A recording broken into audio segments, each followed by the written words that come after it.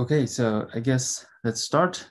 Um, so we're gonna continue talking about Bandit, but this time we're gonna talk about a slightly more complicated and a more practical version of Bandit, which is called contextual Bandit. So let's just do a quick recap on the uh, classic multi-arm bandit setting, right? And this is an interactive learning process where every day the learning system pulls an arm or an action from k-many actions, right? So the learning algorithm strategy could be adaptive in the sense that you know the strategy is updated every time, every day, right, based on the historical information. And then once the arm is determined or the action is picked, the learning algorithm will observe the corresponding reward that is ID sampled from that action's distribution. Right? And then you know we move on to the next state. And the way that we are measuring the learning process is this regret, right? So the first term on the right-hand side is the total expected reward, the maximum total expected reward that you would get if you pick the best arm every day. Right? So this is our you know, benchmark. And the second term on the right-hand side is the expected total reward that our learning system got. Right? Because this I subscript T is the action that we picked at day T. Right? So this is measuring the difference between the maximum reward that you could get and you know the total expected reward that you got right and we wanted this difference this regret grows sublinearly in the sense that you know if you take average this average regret goes to zero right and we talked about two algorithms that achieves this goal and one algorithm the ucb algorithm is the optimal algorithm in the sense that it achieves the optimal regret which is square root t if you still remember right? So this model is very classic. You know, lots of computer scientists, lots of mathematicians were studying this model, right? Because this is simple and it also has, you know, good uh, practical usage as well. It's a very simple mathematical model. But the downside of this model is that what we assumed is that across all days, right? These actions distributions, they're fixed. Like the best arm, the best action is fixed every day, right? So nothing is changing. So this is one of the limitations. So let's see, you know, if we can actually make that model slightly more general, but incorporate contexts into this interactive learning process. Right, so the outline is the introduction of this new model. And then we're gonna talk about a very simple algorithm and then we're going to briefly mention the theory and you know, some practical considerations of this approach. Okay, so that's the plan for today. Okay, so let's see the model, right? So again, this is an interactive learning process. And every day, different from the multi-arm bandit setting. First of all, every day, at the beginning of every day, there's a new context, xt, that appears. So maybe you can think about this X space is embedded in some d-dimensional Euclidean space. Right, so some feature, some context shows up every day. And based on the history information and the new context that we just saw today, right? So the learning algorithm gonna pick an action, AT, from the action set maybe there are k-many actions. Right? So what's the difference between this model, this new model, and the previous multi-arm bandit model, right? So the previous multi-arm bandit model does not have the first step here, right? Here, every day we are observing some context, and based on the context, we are recommending some action. Right? We're gonna see an example in the next slide, but let's just quickly go through the framework for, for now right? And the next step is also important. So the, the learning algorithm will observe and a reward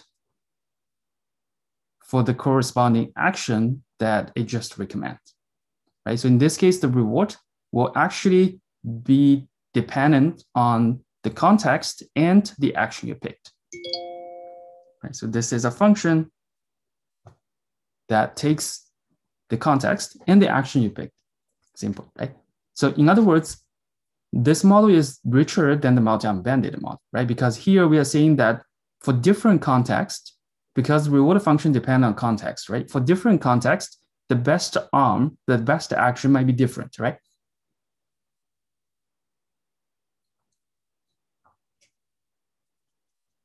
So that is a model.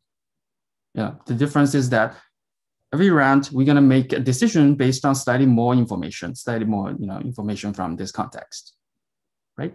And also we know that the reward function depends on the action and the context together now. So there's no sort of unique, you know, best action anymore, right?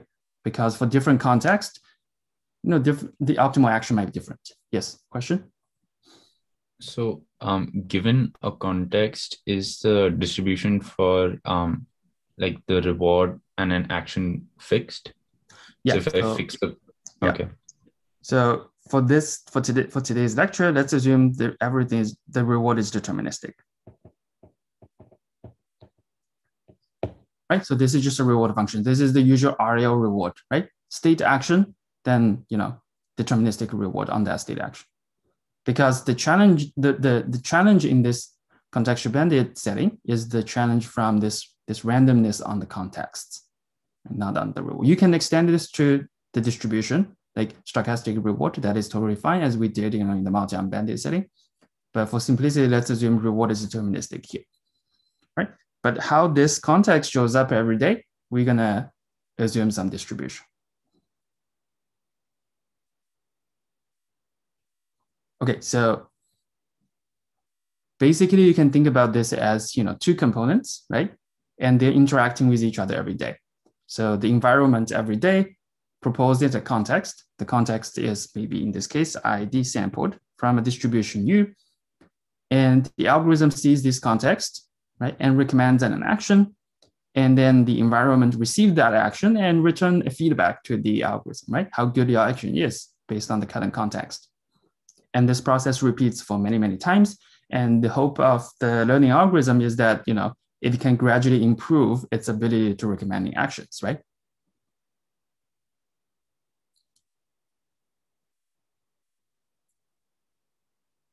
Okay, so so basically all this personalized recommendation system is kind of using this framework, right? So here in this example, maybe the context is user's information.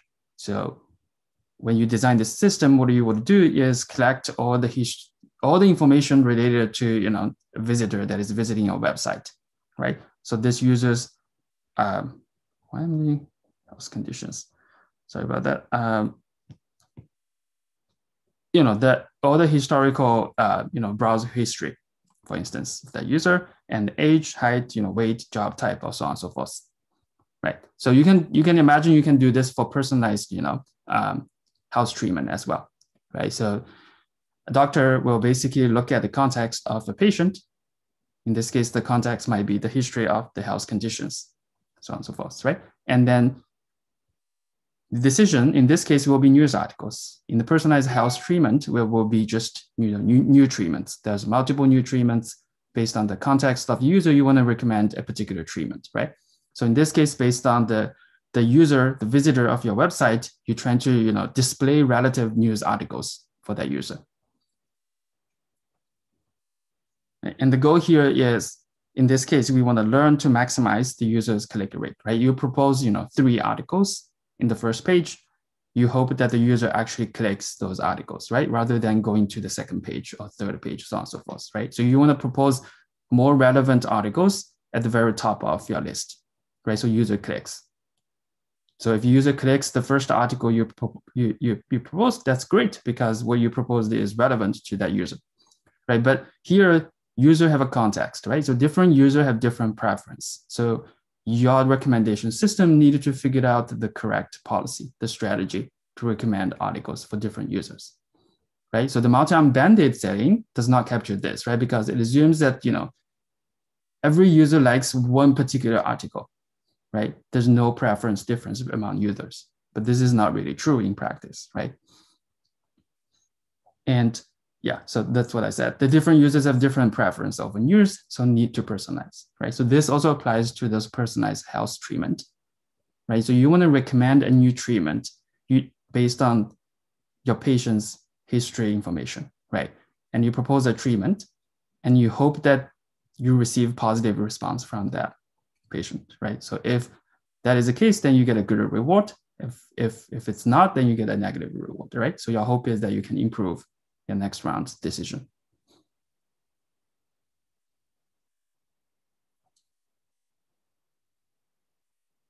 Right. Any questions about the model?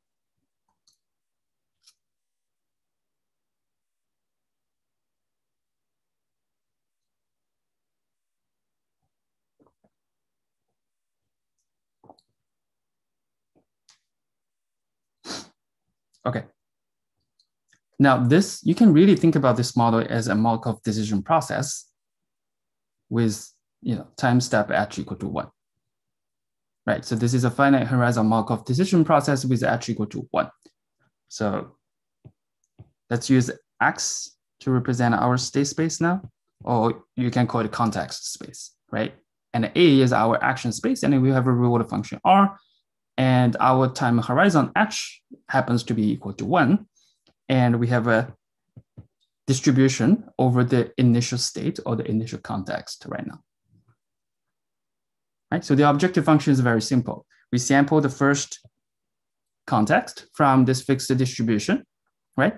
And we want to find a policy pi, and then maximize the expected total reward, right? So the expectation is taken with respect to the distribution mu, mu, and the reward is measured using this function R, right? Measured at the context, the sampled from this distribution and the action you propose at this particular context, right?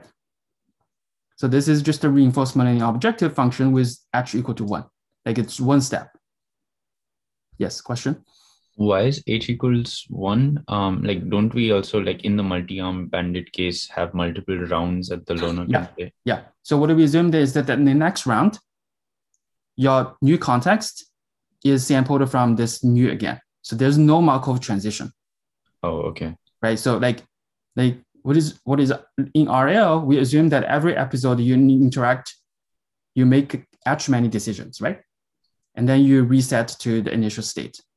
Yeah. I Here we're just making one decision every day. We just propose one decision, and on the next day we just assume a new context arrives, right? That is also ID sampled from this distribution. Yep, that makes sense. Thanks.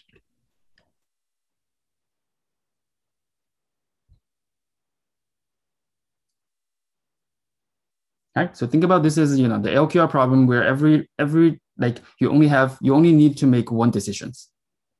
Right. You make one decision today, tomorrow you reset and you repeat. And we always assume that this context is sampled from this distribution U. Right? So there's no Markovian transition. So you make one decision, you receive a reward, you're done today. Tomorrow, let's repeat the process. Uh, you might have you might have mentioned this, but uh, is mu a fixed distribution? Because like people's yes. preferences could change over time. Yeah, so mu is a distribution. R is fixed, right? So mu is also a fixed distribution. So what we assume is that there's a distribution over population, right? Mm-hmm. Every day, you know, my new patient is different from previous patient, but I assume that this is a sample from some unknown distribution. Mm-hmm. Right. And because every day, you know, this this web recommendation system has been interacting with so many users, right? So it's reasonable to assume that the next user that the recommendation system saw is independent from the previous user, right? Mm-hmm. Because every day you're interacting with millions of users, right? Like you know every minute or every you know five minutes right mm-hmm. so that's that's why this id assumption is reasonable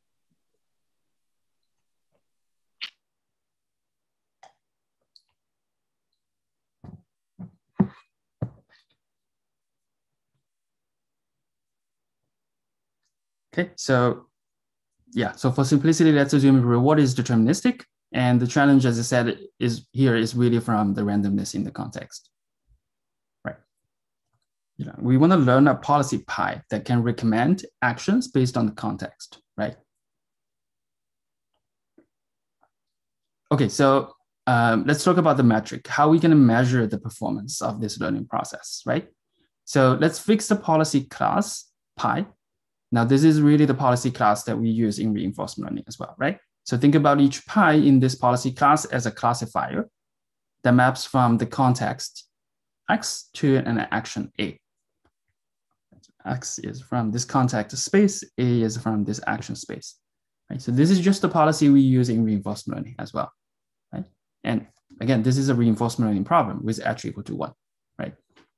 And let's define the optimal policy pi star, which is the optimal policy that maximize the, op, the policy that maximizes the expected total reward, right? Expectation is taken with respect to the initial context from this mu and the reward function r. Right, so pi star is, you know, you search over all the policies in your policy class, pick the one that maximizes this expected total reward, right? So this is our objective function. All right, so like reinforcement learning, like policy gradient, every iteration, the learning system proposes some policy pi t. Right, so remember, recall the reinforcement learning, the policy gradient approach, right? Every round, every round, every iteration, we are updating our policy from pi t to pi t plus one, right? So here, every iteration, you know, we are updating from a policy pi t to pi t plus one, and we recommend action at based on our policy pi t, measured at today's context xt, right? And then we receive a reward that is you know, the value of the reward function measured at today's context xt and the action we proposed. Right? And the regret is again, you know, the difference between two quantities, right? So the first quantity is the expected total reward if we always place, if, if we always use the optimal policy pi star to recommend actions. Right? So this is like, you know, the ground truth optimal policy in RL, right? Like the policy that maximizes the expected total reward across T many rounds.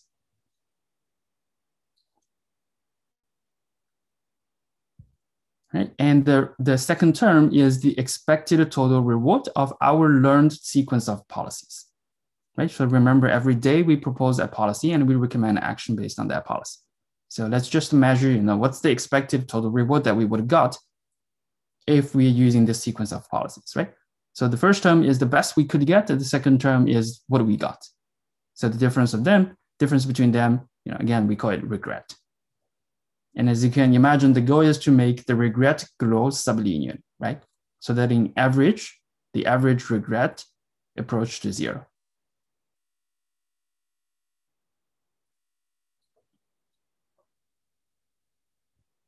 Okay, so that is the setting. Um, any questions for this setting?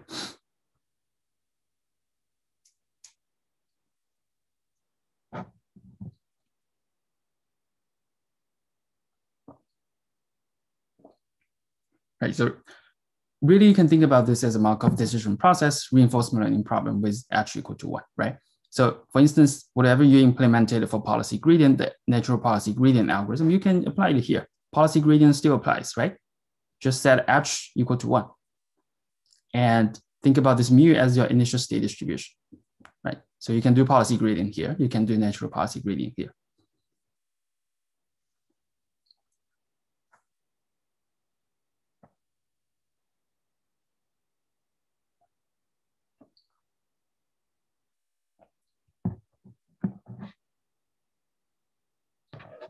Okay, so if there's no question, then let's jump into the second component.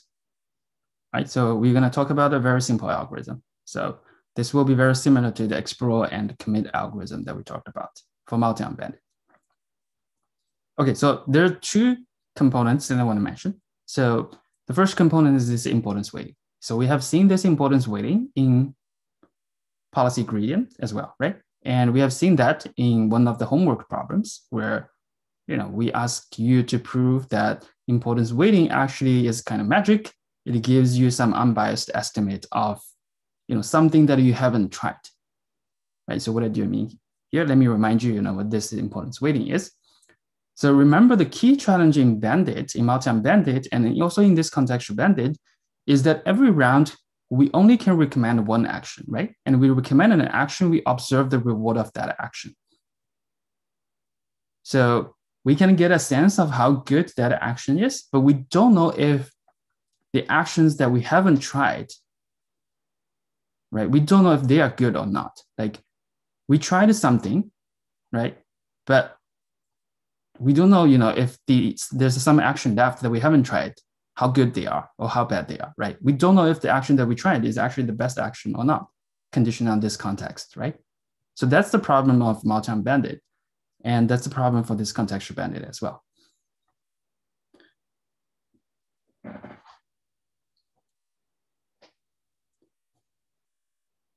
So importance weighting is kind of magic here, and it allows us to actually get an unbiased estimate of all the actions.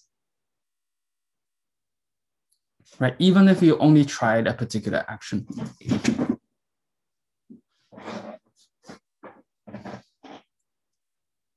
Okay, so let's see how, how it works. This is really the homework problem. So I'm just really gonna repeat the homework problem's conclusion for you again. Okay, so let's see at every round T, I'm sampling an action AT based on distribution over action space. All right, let's, let's not worry about how the distribution is constructed. Let's just sample an action from this distribution, maybe a uniform distribution, who knows, right?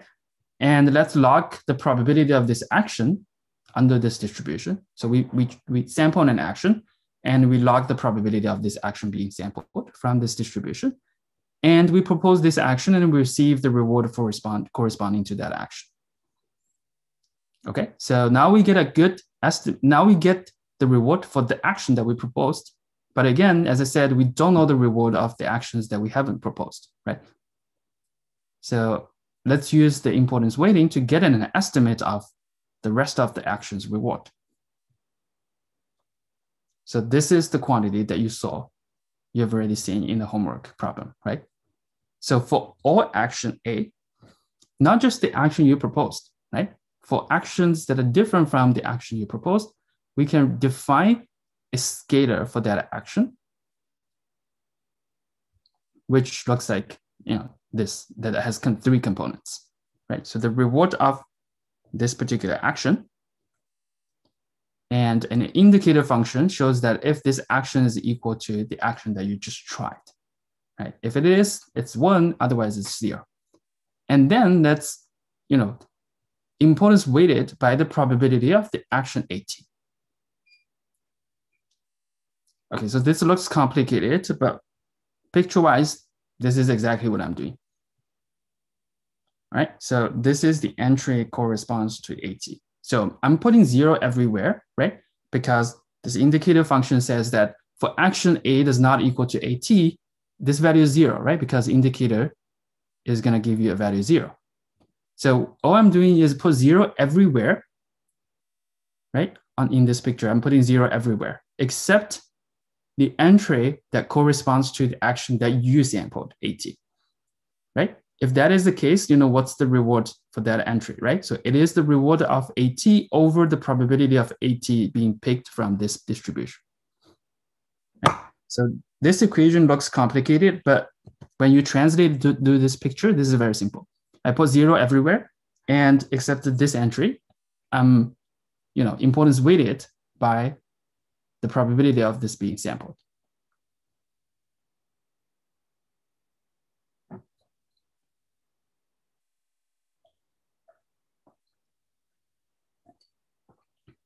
Okay, so the claim is that this reward vector is an unbiased estimate of the reward vector, the, the ground truth reward vector. So what do I mean? The expected value of this R hat at any action A is actually equals to the reward at this context xt measured at action A. Right, so this is what you proved in the homework as well. Right, so what I'm saying is that this quantity expectation of hat R is actually equals to R xt you know, for all action. Like this is kind of magic, right? So you're just trying to one action, you just log logged the probability of this action being sampled.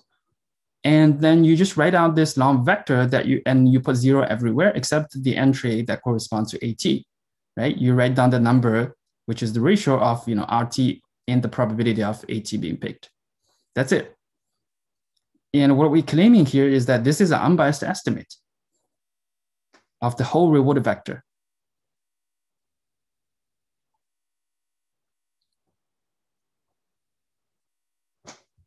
All right, so let me just quickly remind you how you know the proof goes.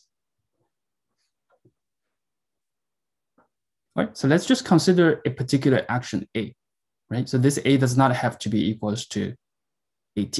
So remember AT is the sampled action, right? So what is the randomness in this, this vector? So the randomness is from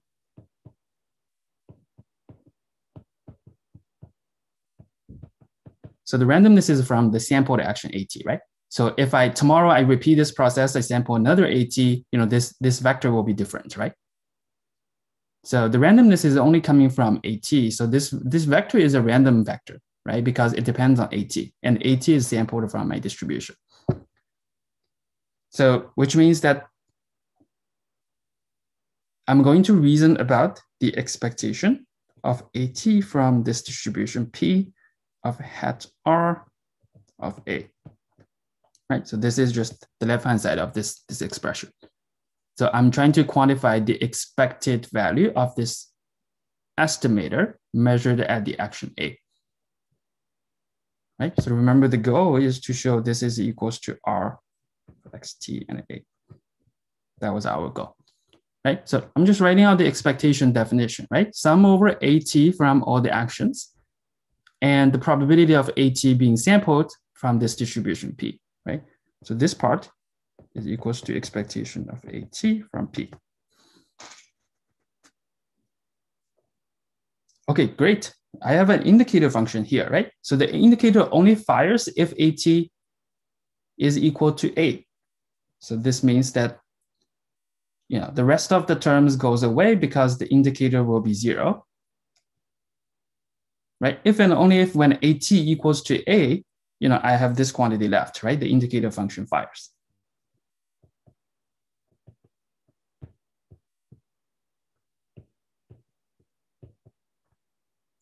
Otherwise, you know, the term will just be zero, right? So all I left is, you know, AT equal to A.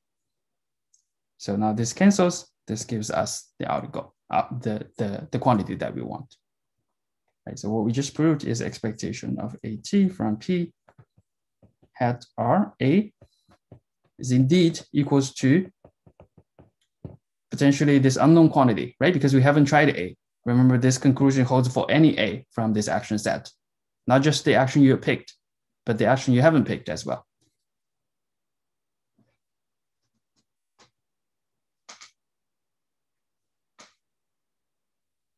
Right, so this is this is this is the importance weighting trick.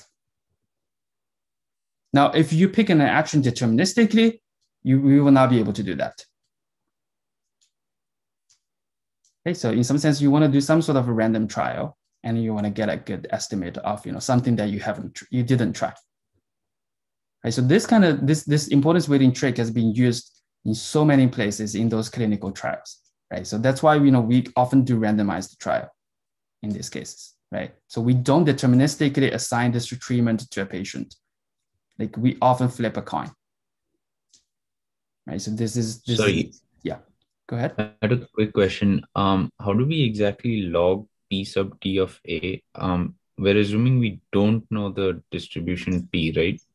Yeah. So so we will see that when we talk about the algorithm, right? But this is your, your job to determine this probability, right?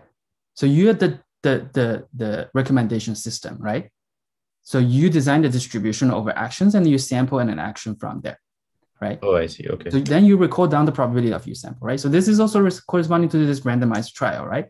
So a patient shows up, you don't want to deterministically assign that treatment to, to, to that patient, right? Especially at the stage where you're doing clinical trial, right? So you figured out a distribution and you actually flip a coin based on this distribution, which determines whether or not you want to give the treatment to, to, to, to, to the patient or you want to give some other treatment to the patient, right? And you record on the probability of your decision.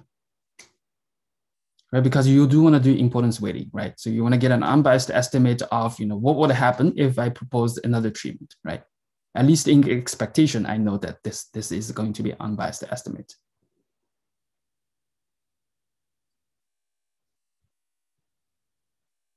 Okay, but the bottom line here is that by using importance weighting, we get an unbiased estimate of you know, the reward for all actions, including the actions that we haven't tried. Right. So that seems the good news, right? So we get rid of one challenge from multi-arm bandit, we do importance weighting, we get an unbiased estimate of the actions, you know, we haven't tried. So it's kind of, you know, get it for free, right? Okay, so another component that I want to talk about is this reward sensitive classification. So this will generalize the classification problem that you saw from you know, the introduction to machine learning class. So let's first recall what is classification, right? So we have a data set where this is a feature, right? So in the usual classification setting, I have a data set that consists of feature and the label pairs. This is label. In our case, we have a finite number of labels, we have a many labels. So let's say we are doing a many, you know, uh, class classification. Right. So what we are doing here in classification, right? So we are trying to find a policy pi that you know minimize the classification error, right? So in other words, you know, maximize the sort of the uh, so maximize the, the rate of you know hitting the correct label in the training data. So this says that the label that you proposed from your classifier pi match to the ground truth label in the training data, right? So this is equivalent to you know minimizing the classification error, right?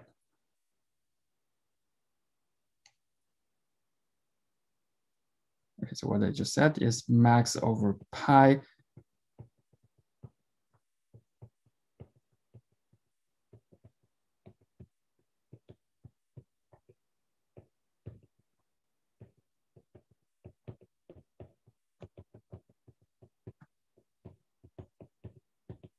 right? So minimizing the classification error to training classification error. This is equivalent to you know maximizing you know the sort of the consistency between your prediction predictions and the ground truth labels, right? Okay, so that is classic supervised class, classic classification problem in supervised learning setting. Let's make it a slightly more general, right? So let's generalize to the reward sensitive setting. So what do I mean by reward sensitive? So again, I have a data set that consists of feature and some sort of reward pair, right? So this is still the feature vector. Feature vector. Okay, so now instead of showing you a label, I'm showing you a vector whose length is actually the number of labels. So in other words, instead of telling you the ground truth label, I'm showing you that for this example, different label have different reward right? Maybe label one has reward one, label two has reward zero, label three has reward, you know, 0.5, right? So when you do classification, you get a reward signal as well. So we're sort of weighting different label, labels using, diff, using weights. So let's, let's sign a picture. This is a picture of a data set, right? So I have a feature, and then I have a, this long vector where every label has its own reward R, I.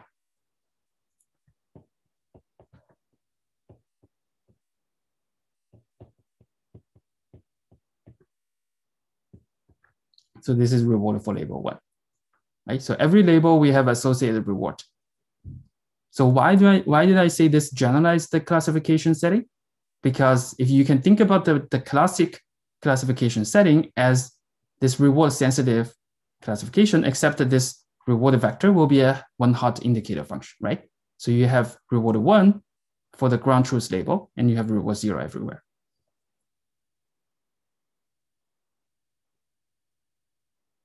Right? So what do you mean? So you can translate this as an indicator function that has zero, zero everywhere, maybe one, zero, zero everywhere, right? And your one corresponds to the ground truth label I.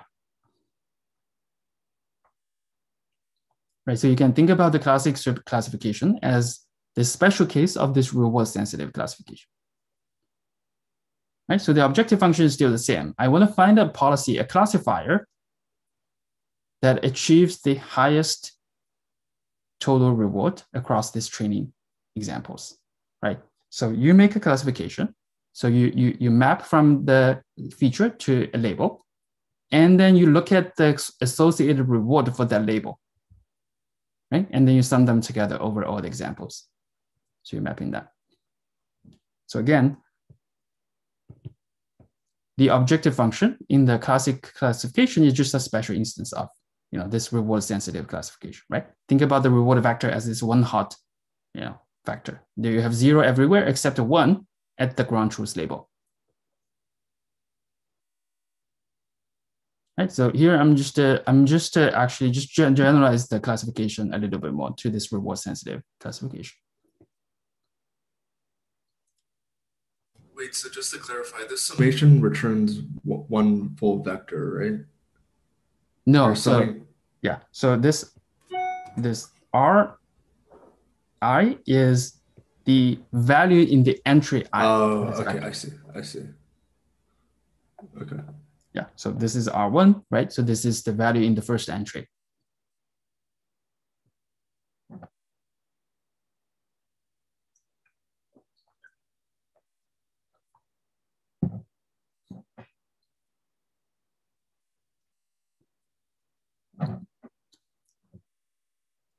So, you know, this reward sensitive classification is also pretty common in practice, right? So imagine you want to do mm, classification over many, many labels, right? So there might be cases where, you know, two labels, they're equally good.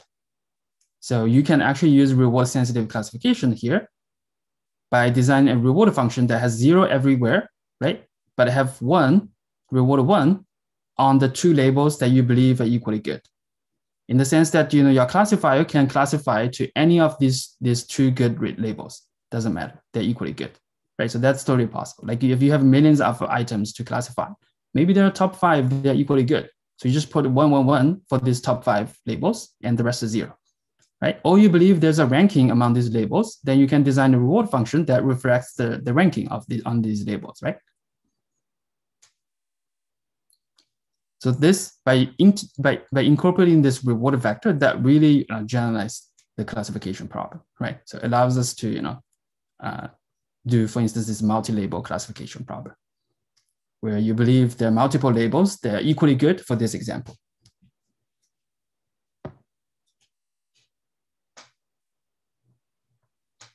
Okay, so so um, we will actually do a reduction to this classification, to this supervised learning problem again, we will design an algorithm that every round uses this reward sensitive classification oracle. Okay, so just summary so far. So what we talked about are two components that we're going to use in the algorithm. The first component is importance weighting. So we magically get unbiased estimator for all actions, including the ones that we haven't tried right? So this is the procedure. You randomly sample an act. You design a distribution. You randomly sample that action from that distribution. You log down the probability of this action being picked. You receive the reward for that action. Now you write down this this this this long vector, right? That puts zero everywhere except the entry that corresponds to the action you picked. You put down this ratio R over the probability of this action being picked. Right? And you take expectation with respect to the vector, you get an unbiased estimate of the entire reward vector. And the second component is this generalized classification problem, right? So now you have reward function, you have reward for each label. And your goal is to maximize this, maximize the reward, total reward across these training examples. Right, just think about the classic classification as a special case of this, where the reward vector is a one hot vector, right? You have zero everywhere except one at the places where, at the, at the entry that corresponds to the ground truth label, right? So then, you know, this is just special case of this reward sensitive classification. Okay, so we're gonna use these two components to design the algorithm. And you will see the algorithm is actually very simple. All right, so let's put two things together. Um, so we call it explore and ex explore and commit again. So as you can imagine, we're going to have design two phases. The first phase is just do exploration. right? So of course, the first step is, you know, we just wait for a new observation come or new context come. So xt is sampled from this unknown distribution mu in the ID fashion, right? So we saw in the context, let's propose some action. And in the explore, exploration phase, what we're gonna do is actually uniformly random sample an action. Okay, so this notation represents uniform distribution over the action set A. All right, like this is essentially saying that let's not worry about reward. Let me just uniformly random something. Let, let me just uniformly randomly pick a treatment for a patient, for instance, right? Let's just do like, you know, completely random, you know, clinical trial, for instance, for now. Right, and I receive a reward of the random action that I picked. Okay, so the benefit of doing random exploration is that now we can use this to form an importance weighting, right? We can get an unbiased estimate of the actions that we actually haven't tried. So in other words, let's use importance weighting to form an unbiased estimate of all the actions. Right, so this is for all A, this action set. Yeah, again, this means that for A does not equal to the action that we picked, we put zero there, right? for the action A that is equals to the action that we picked, let's put down this ratio, right? Which is the reward of that action over the probability of this action being picked. Now, what's the probability of this action being picked? It is one over the size of A, right? Because we do uniform random. Okay, so again, remember this picture, right? We have zero everywhere except this guy. And in our case, PAT is nothing but one over A, right? Because we're doing uniform random. Like nothing is, we are using, you know, the, the most simple, the simplest distribution, right? Uniform random. So the probability of this action being picked is one over the size of the actions, action space. Okay, so this is a picture. So we do this every round for a while. Every round we form this unbiased estimate vector, right? Using importance weighting. Okay, great.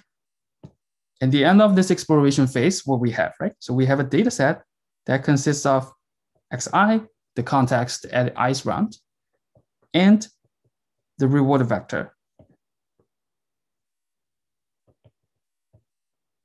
Right, so this is our data set. So this data set looks like a data set that can be used for reward sensitive classification, right? So we have feature xi, and we have a reward vector whose length is equal to the number of actions, the number of labels, right? So this vector is saying that we have different rewards for different labels.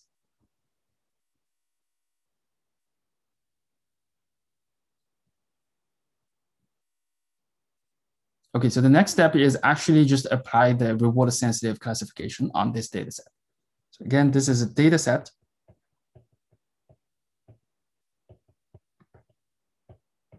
Right, for reward sensitive classification. So this step says that let's try to find a policy pi that maximizes the total reward on this data set.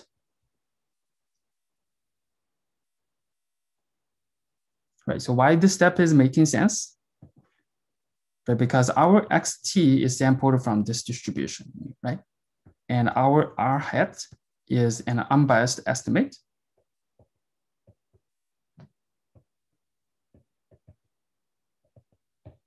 of the true reward at context xt, right? So in expectation, this objective function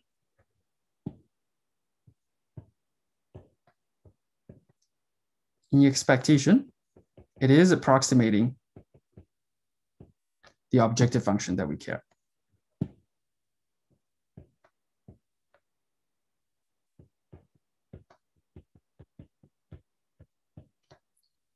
Right?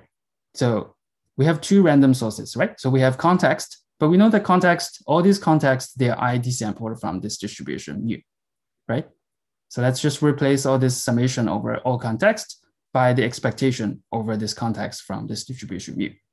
And then inside the expectation, in our objective function, we have this r hat, but we know that r hat is an unbiased estimate of the ground truth reward, right? So that's why we can put an r here. So basically, we are saying that after we collect many, many examples, and after we make all the reward factor, this estimate unbiased, now we are really trying to use this data set to approximate the objective function, right?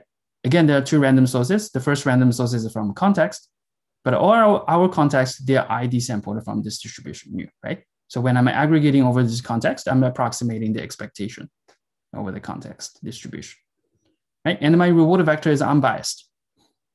It is unbiased estimate of the ground truth reward, right? So if you add expectation, you can show this objective function is an unbiased estimate of the ground truth objective function.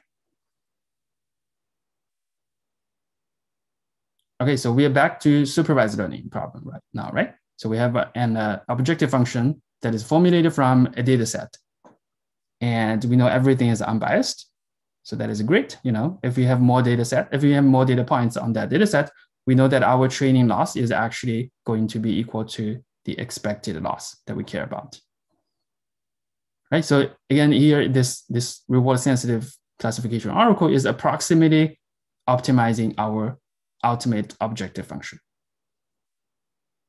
Right, because we make sure everything is unbiased, right? We make sure, you know, the, the, the context that the ID sample from this unknown distribution, we make sure the reward vector is an unbiased estimate of the ground truth reward. Right, so we do all this work and we make sure everything's unbiased. Okay, so the second phase is very simple. Let's just do exploitation. After we get this good policy pi hat, let's just propose actions based on this policy pi hat. Right, so remember the explore and commit phase in multi-arm bandit. Once we explore, we're just gonna commit to the best thing that we found. So here we explore first, and then we find the best policy, the best empirical policy that maximizes you know, the, the total reward across the exploration data set. And then we commit to this policy, right? Later on, we just pick an action, we recommend an action based on this policy. That's it. We're never going to do any update.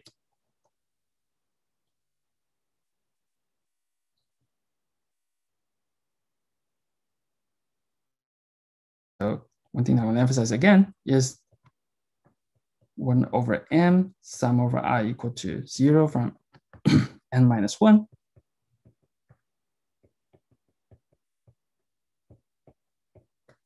Right, so this is really approximating the expectation of x over nu r x pi x, right? So the training objective function is the average over these data points, right? And the average is really approximating the expected reward.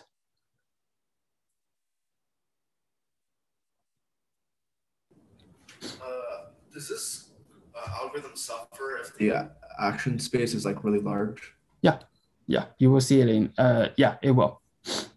Okay. Yeah, but same thing would happen for classification, right? So like, you, if you do a classification with 1,000 labels, of course the problem is much harder than you know doing binary classification. Is there a UCB version of this algorithm? There is. It, it, there's many uh, yeah optimism in the face of uncertainty version of this algorithm, but we're not going to talk about that's that's really complicated. Uh, yeah. One reason that I like this algorithm is this is very simple algorithm. And as I was as I will mention approaching the end of this lecture, there's a like very practical version of this algorithm. And it is actually being used in real systems as well like there exists UCB-based algorithm that is very complicated and achieves better regret in theory than this approach. But in practice, this approach often does pretty well for most of the cases.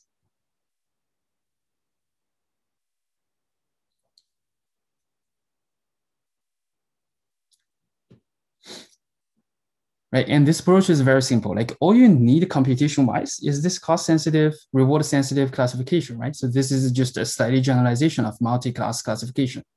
Like you can just write down this objective function, do gradient descent on your on your policy pi, or do gradient ascent in this case, right? and find the policy pi that maximize this data set, the, the objective function formulated on this data set. Like this pi could be a decision tree, this pi could be a SVM, this pi again could be you know, a neural net, right? Because all we're doing is that once we do exploration, like we form a supervised learning data set, right? That consists of features and reward, uh, reward vectors. One like the reward vector, each, each reward in the vector corresponds to the reward for that label. Right. At the end of the day, we just formulate a classification data set and we run some reward sensitive classification algorithm on it. Right. And then we just commit to that policy. Now, of course, you know, in order to prove that this algorithm work, we have to, again, tune this parameter n, like we did in the explore and commit sense, right? Okay, so any questions about the algorithm?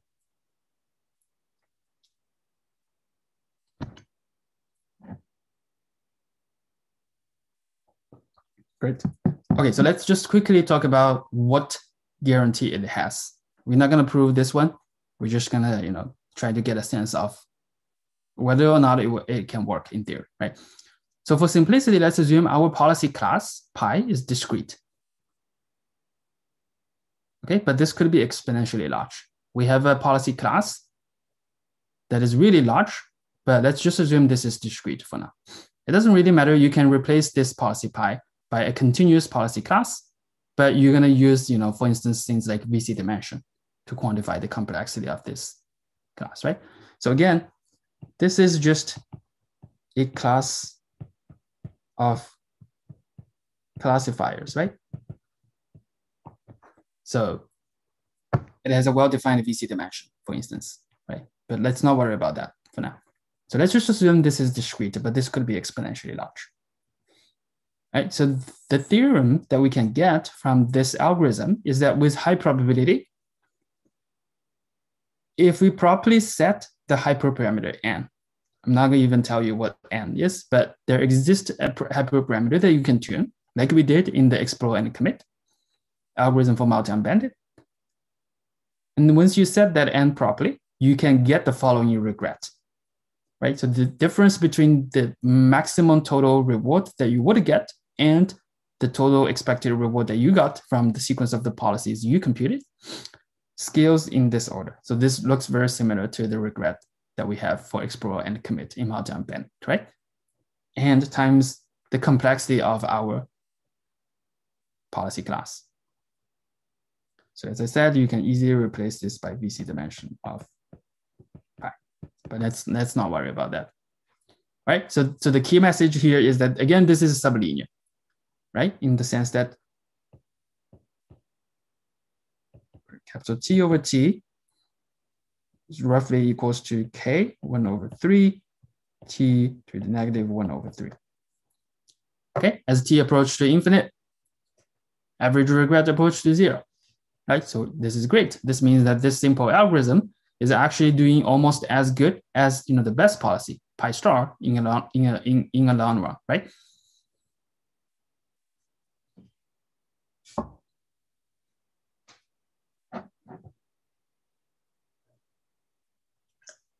Okay, so I think the details here are not super important. You know, the key message here is that this algorithm actually works in theory. Right? So, but you have to do some extra work to tune the parameter n. You know, you have to do some extra work to analyze the performance of this reward sensitive classification. Right? But that's all doable. You know, reward sensitive classification at the end of the day is just a supervised learning problem, right? So you just transfer, you know, the supervised learning guarantee back to the guarantee in this bounty unbounded problem, in this contextual bandit problem.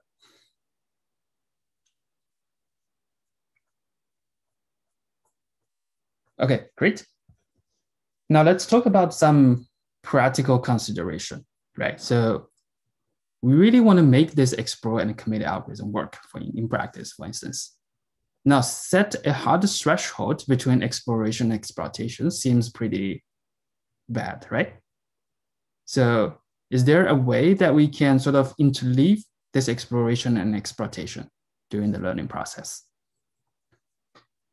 So there's a common trick people do, which is called epsilon greedy. So we do epsilon greedy even in reinforcement learning as well. So in high level, what this is, so this says that with probability one minus epsilon, so epsilon is a number from zero and one. Okay, so the first thing is that with probability one minus epsilon, I'm gonna play action based on my policy. So maybe let's call it exploitation. Okay, so with probability one minus epsilon, I'm just doing whatever I'm supposed to do. Okay, I'm doing exploitation. With small probability epsilon, let's do exploration. So let's call this exploration. So every round, let's use this epsilon greedy exploration strategy. Let's flip a coin with probability one minus epsilon. I'm playing the action that I'm supposed to play based on my policy, right? I'm doing exploitation. Okay, with the rest of the probability, let's forget about what I have. Let me just do randomized trial, right? Let me just randomly pick an action from uniform distribution and I, I, I propose that action. Okay, so every round we interleave this exploration exploitation, right? So we, we, we depend on this randomness, this one, this epsilon greedy randomness to determine whether we do exploration exploitation right? So every round we do this. And the action distribution induced by this epsilon greedy at iteration t is essentially the distribution between these two mixture, between these two distributions, right? So this is actually a mixture distribution with probability one minus epsilon. We are playing this delta distribution, right? So delta over A is a delta distribution that you know you put zero, zero everywhere, but probability one for this particular action.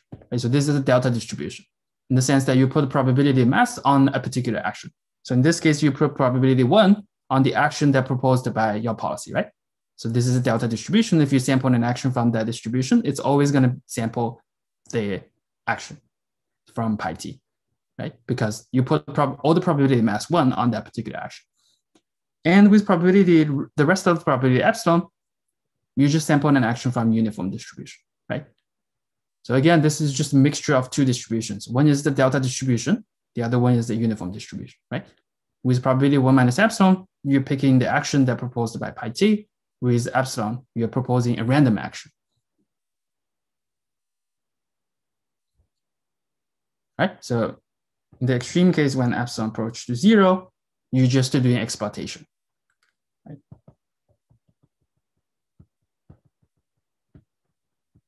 When epsilon approaches to one, you just do uniform exploration. Right? Of course, you need to tune that parameter in both theory and in practice to get you know the sweet spot for doing this. Right, so let's put this into the algorithm, right? So every uh, now our algorithm can actually run from you know zero to infinite. Right? Let's just keep the algorithm running every day, right? Never stop it. So every day we observe a context. And let's use the epsilon greedy to form an action distribution, right? Again, this is a mixture distribution with probability one minus epsilon. You're going to lessen to your policy pi t, right? And with probability, sorry, with probability one minus epsilon, you're going to lessen to your policy pi t with probability epsilon, you're going to do a uniform exploration. You're going to sample an action uniform randomly from this uniform distribution. Right? So you have this distribution, play in an action AT from this distribution PT. Right? And you observe the reward for that action. Okay, great. Let's use importance weighting to form an unbiased estimate at RT, right? Again, what's the picture? The picture is zero, zero everywhere, except to one place. You have RT over PTAT and zero, zero everywhere. This is our vector. So picture-wise, zero everywhere, one place, the, the place corresponding to the action you played, you have this ratio, right? You have this importance weighted number. At the end of the day, at the end of the t state, let's just do a reward sensitive classification update, right? Let's aggregate all the data that we have so far from day zero to the current day. apologize for this notation error. Let's just do a reward sensitive classification, right? So this, at the end of the day, we aggregate all the data that we have. Let's do a big, you know, supervised learning optimization. And tomorrow, you know, we're going to use that new policy and we repeat, right? So in practice, you can also gradually decay the epsilon as well, because eventually you realize that, hey, I don't need to do too bunch exploration, right? Because my policy is pretty good so far. Like when you observe, you know, whatever action you proposed, users just like it, right? So at this stage, you can gradually decay in your epsilon because you realize that my system is doing pretty well so far. I don't really need to do exploration anymore, right? Maybe the policy that I computed has already pretty much converged to the optimal policy. Right now, of course, you know, epsilon is a hyperparameter. You know, like hyperparameters in many machine learning models, we do have to spend time tuning it, right? So, like, if you want to deploy a machine learning system, there's no way that you can magically, you know, figure out a correct hyperparameter, right? We have to tune. Okay, so this is a much more practical version than you know the explore and the committed that we talked about, right? So here we interleave exploration and exploitation, and we rely on some small probability of doing exploration. You know, with probability epsilon, we do exploration, right? And we just use the very simple uniform exploration strategy. Nothing is even you know fancy here, right? And you know, at the end of the day, we just do a big update, right? So this is like you know, you you, you shut down your system every night, you know, for, for like 10 minutes or one hour, you do this big optimization? Optimization over the entire data set that you collected so far, right? And then you, you know, update the policy for, for, for the next day and you repeat every day.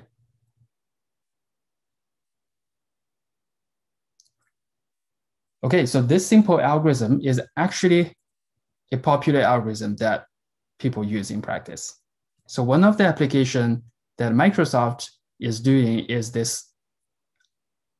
So they they sort of making this contextual bandit algorithms as a easy to use software, such that you know people can actually sort of build, for instance, a recommendation system using their service. Right, so let's see what they are trying to do here. Right, so that's the framework that they proposed. And what they focus on is just design this algorithm for you, right? So inside this box, this is running, for instance, the epsilon greedy approach that we talked about, right? So let's see, you know, we, our customer, we customer, we are running, we are using this service. So let's see, you know, we are running some maybe bookstore, online bookstore, right? And we build some website that interacts with, you know, visitors, users. And our job is actually to recommend relevant books for different visitors, right? The hope is that we recommend relevant books on our website whenever a visitor comes. And our hope is that the visitor clicks, you know, the, the book that we visited, uh, we proposed, right? Or buy the book that we, we proposed. Okay, but you know, we are just a, a, a bookstore website designer. We don't know anything about contextual bandit, right? So we can actually use their service so what we do is that we design a website that extracts the context of a user. Every day, a new visitor comes for our website. Let's extract the feature of that user as much as we could, right? Whatever information that they provided when they register, you know, their account here, for instance, right? and we're going to record down you know the information they have you know we're also probably going to record down the, the the the history book the historical book that that the user visited or checked so far right so this is context and our website needed to figure out you know the relevant maybe 100 or 200 books so this is the action set right and for each action, we also maybe featureize it, right? So maybe this is the feature of this particular book, and that is the feature of you know another book. So once we have this action set and we have the context for the user, now we can leverage that service, right? So we just feed these information to this service. And from this service perspective, it just saw a context and a set of actions, right? Like the service does not need to know that we are running, you know, a, a, bookstore website or something, right? So the service just based on this rank API, it stores the user information, the context, a vector, and a set of potential actions.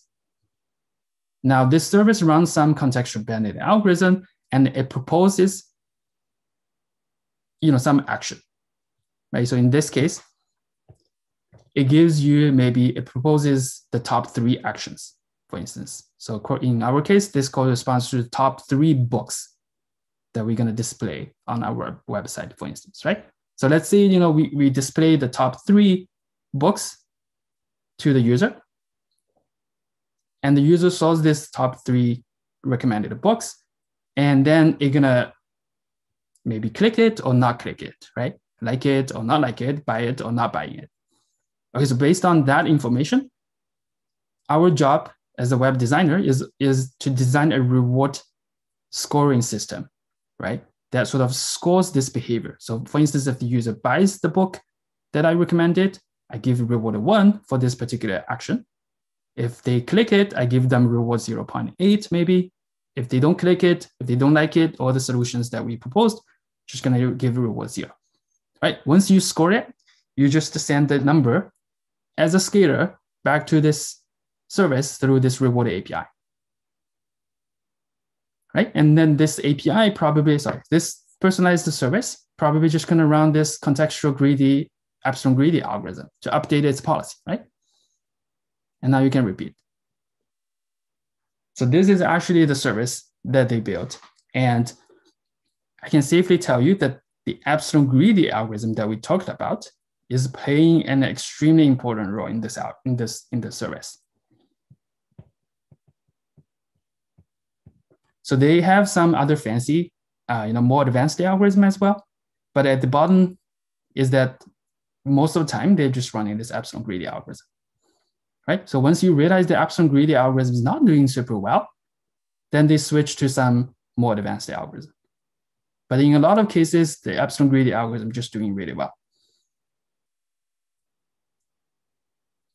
Right, so now, you know, if you want to build a recommendation system, or if you want to build some, uh, you know, whatever system that corresponding to, you know, picking an action based on some user context or whatever, we can use their service, right? So we don't need to be an expert on machine learning. We don't need to be an expert on um, contextual bandit, right? So all we need to do is just design these APIs, right? How to convert user information into a context vector, how to convert you know book information into a set of actions, you know, use their API to feed this information to the service, and then how can, how can we convert the action recommended from the service back to the box, corresponding box?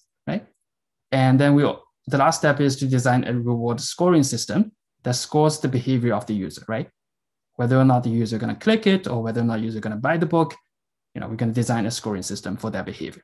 And the last step is just to send back this numerical scalar, this reward, right? Back to the system through this reward API. That's it right? We don't need to worry about you know what's happening inside this personal service.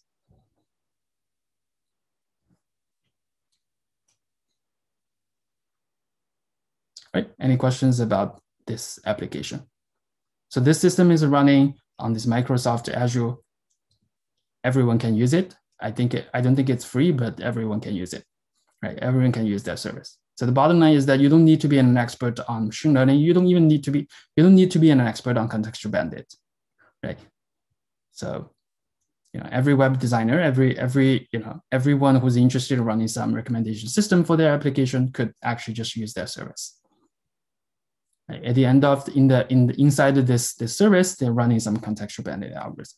Right? Most likely, it's running epsilon greedy for your application. But they have some strategies to switch to more advanced algorithms as well.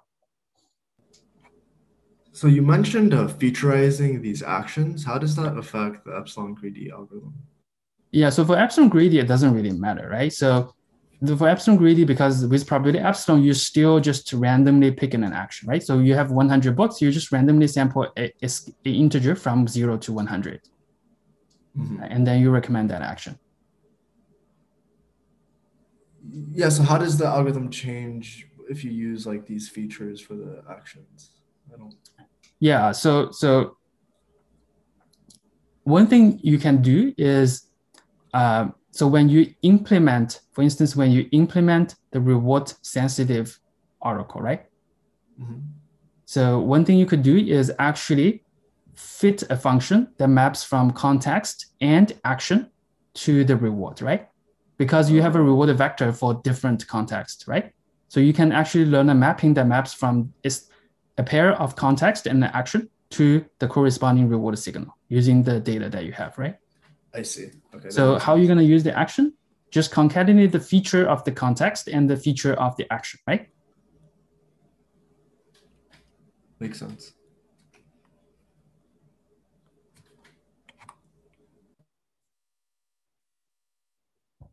Okay, so that's the end of today's lecture.